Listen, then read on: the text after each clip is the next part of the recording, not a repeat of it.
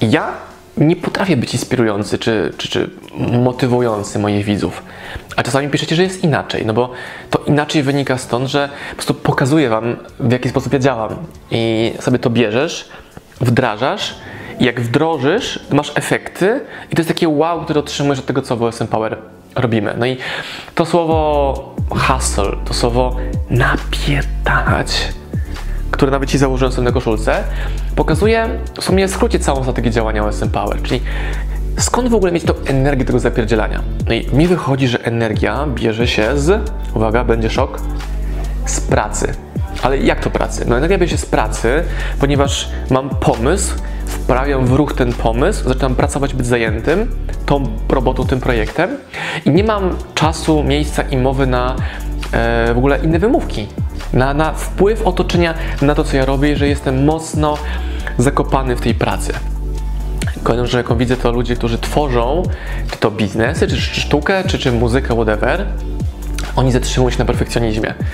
I jest takie angielskie powiedzenie where the rubber meets the road.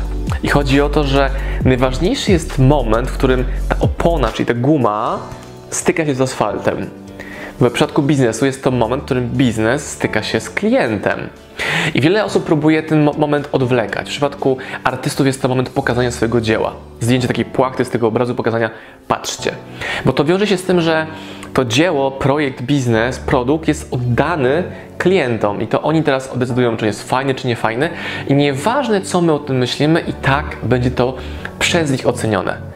Docenione albo merytorycznym, fajnym artykułem opinii, albo pieniędzmi. Ktoś kupi ten obraz, ktoś kupi tą książkę, tę książkę i to powoduje, że wzrastamy.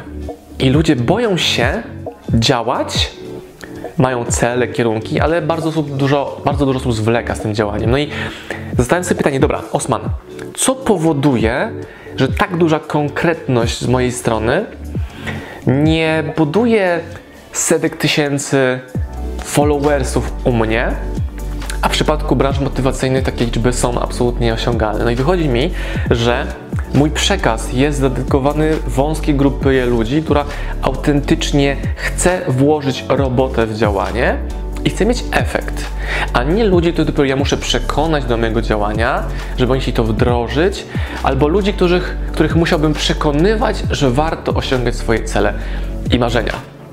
Ja mam bardzo mało marzeń, no bo większość z nich już odhaczyłem jako moje zrealizowane cele. Oczywiście można mówić, że cel to jest marzenie ubrane ubrane w działanie, ale u mnie wychodzi mi, że u mnie moim celem jest samo działanie.